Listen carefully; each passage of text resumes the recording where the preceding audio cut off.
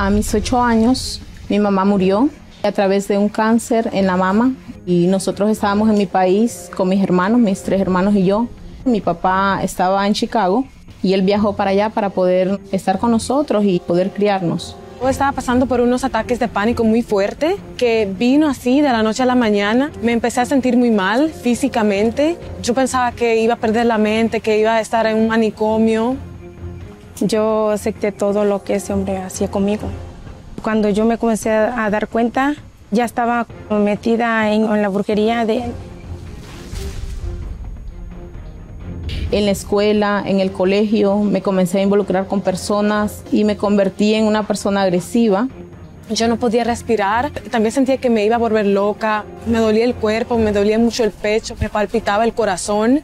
A raíz de eso yo caí en depresión, yo estaba flaquísima, yo me aislaba de la familia, de los amigos, yo no quería saber de nada. A mis 14 años mi hermana me botó de la casa, no me soportó más, porque yo no la respetaba, yo la quería golpear. Perdí trabajo, perdí todo. Cuando nos separamos no tenía fuerzas, mis fuerzas ya estaban desgastadas. Sentía que mi vida no tenía sentido para qué vivir. Yo ya decía, ya está perdido todo. Cuando me bota de la casa, yo me fui con un novio que yo tenía. Él hacía parte de una pandilla. En una ocasión, ese muchacho hace un robo. Y un día yo pensé ir a Rufo, tirarme del edificio.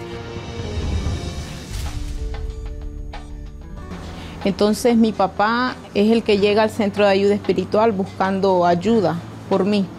Es cuando mi papá me invita para ir. Yo fui libre de todos esos malestares. Han pasado tres años, no me ha dado otro ataque de pánico. Yo entré ahí, me ayudaron, sentí como una paz en mí, como que había una salida, como algo que me decía que iba a cambiar algo en mí. Cuando yo llegué al centro de ayuda, ahí escuché cosas diferentes, cosas que yo no había escuchado. Entonces, es todo lo contrario. Eh, la relación con mi hermana, después de que yo la odiaba, pasé a quererla. Ahora la quiero. Yo le pedí perdón porque reconocí que yo estaba mal. Se puede decir que todo eso cambió. Me gusta pasar tiempo con mi familia. Le doy gracias a las personas que me ayudaron, que me escucharon, que cuidaron de mí. A una persona que está pasando por lo que yo pasé, yo le diría que vengan al centro de ayuda, que no tengan ninguna duda, valió la pena. Se me quitó esos malos ojos que tenía y ahora somos una familia feliz.